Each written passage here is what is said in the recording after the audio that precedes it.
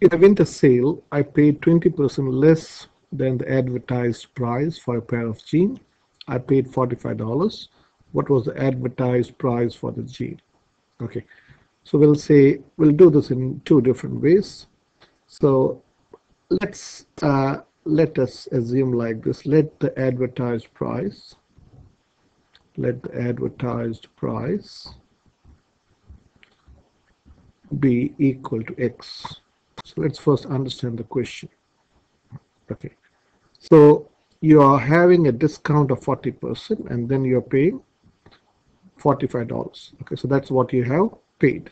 I paid. So we can say advertised price, I'll write in short, advertised price minus 40% of the advertised price is equal to what is equal to I pay. Okay, this whole thing has been written as a equation. So this is adver advertised price. You take a 40% of the advertised price and then this is what you get. Okay, so let me change color. So we can say, well, this is X minus 40% of X is equal to what is that I pay? That is $45. So this is a simple equation. So this is X minus 40% as a decimal is 0.4 of means times X is equal to 45. So this is 1x minus 0.4x is equal to 45. Okay, so this means this is one lot of x, take away 0.4x, which is 0.6x is equal to 45.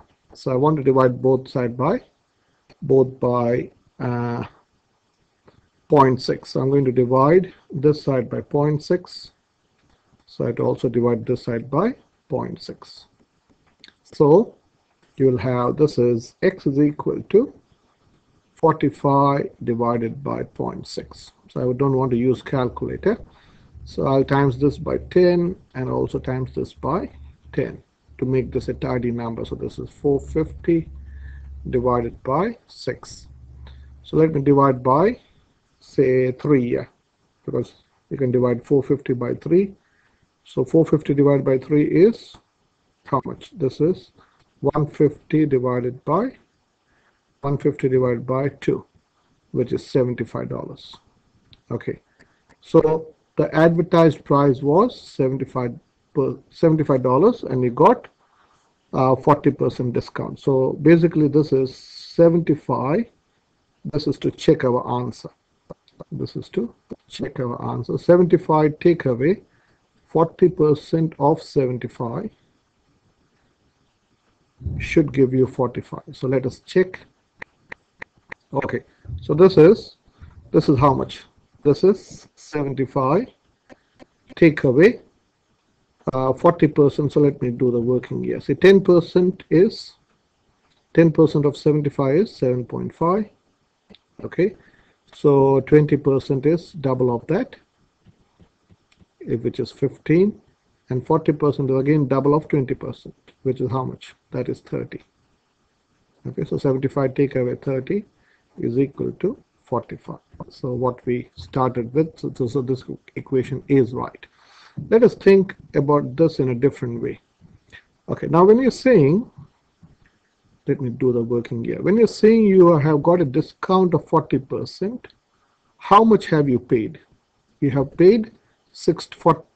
Uh, so this implies 60% is $45 without doing algebra. Just think logically. When you have got a discount of 40%, you have paid only 60% and that 60% is 45. This implies I'm going to, what will be 20%? Okay, so 20% is, 60% has three lots of 20%. So this would be one third of that, which is $15. Okay, and we want to find 100%. So 100% is, 100% has how many lots of 20%? It has got five lots of 20%. So 15 times 5 is 75. So both ways we got the same answer.